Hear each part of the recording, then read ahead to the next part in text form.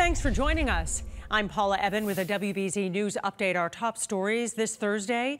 T officials are explaining what caused this morning's power outage that then led to significant delays for riders and also left them in the dark.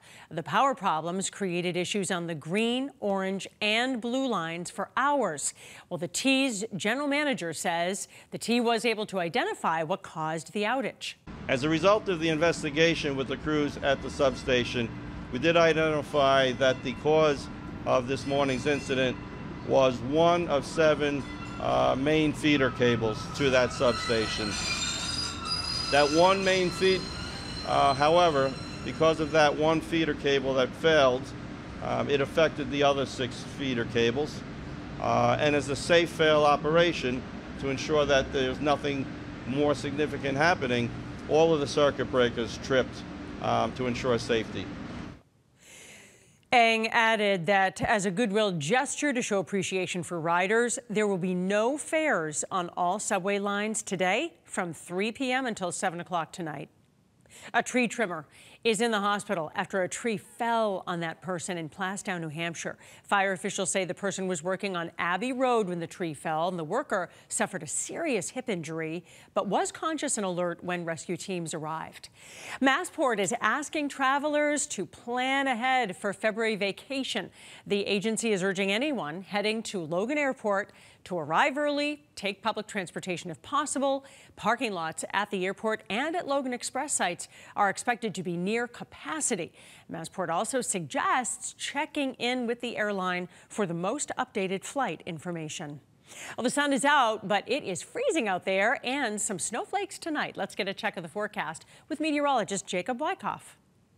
We do have a ton of sunshine around today, but I like to call this ineffective sunshine because it's still mighty chilly outside. And a look at what's next is a period of light snow arriving tonight between about 8 o'clock this evening and let's say 2 a.m. or so. We will have a period of some light snow that moves through.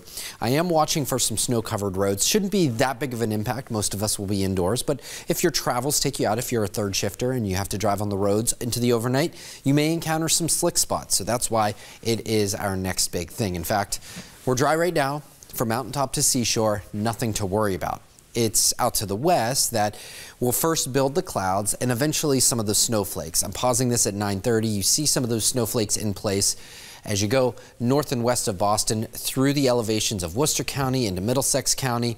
These are the areas that we would expect to see some of the higher totals. But even as you go to the southern tier of 495, out towards the Cape and Islands, we're all going to pick up at least a little bit of snow with this system before it finally winds down and clears on out of here. Friday, we're going to be left with sunnier skies, but also blustier conditions. It will be very windy heading into Friday.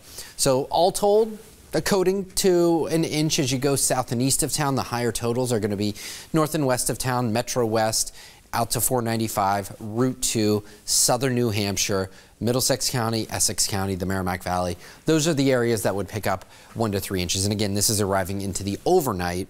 So the salt and sanders, Perhaps the plows will do their job, and by the time we wake up tomorrow, I don't expect any sort of widespread issues by any means. And certainly as you get closer to the coastline uh, south and east of Boston, I don't expect issues at all. Now, we do also have, in the wake of this storm, we have some wind advisories that have been posted, certainly out to western Mass, but also into central and northern Worcester County, out towards Middlesex County and the Cape and Islands.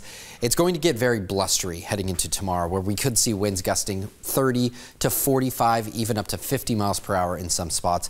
It's one of those lunches that you're going to want to hold onto your hat. It will be windy for sure. But right now, we're just enjoying the sunshine, although it's not warm sunshine. Sunshine nonetheless. Temperatures are in the mid to low 30s and upper 20s. When you factor in the wind, it feels more like the 20s in a lot of spots. On our way to the upper 30s, the clouds start to build. The snowflakes arrive heading into tonight. Tomorrow we'll clear those snowflakes out. We're left with windier conditions. Once again, feels like temperatures will be in the 20 air temperatures in the middle 30s. What we're watching for beyond this is heading into Saturday. This little system is likely going to bring some snowflakes Saturday morning south and east of Boston. Again, doesn't look like a big event, but some snow for some areas nonetheless. Here's our seven day forecast. A chilly Sunday. turning a bit milder as we go into next week to near 50 degrees by midweek. Back to you. All right, thanks, Jacob. I'm Paula Ebben. This has been a WBZ News Update.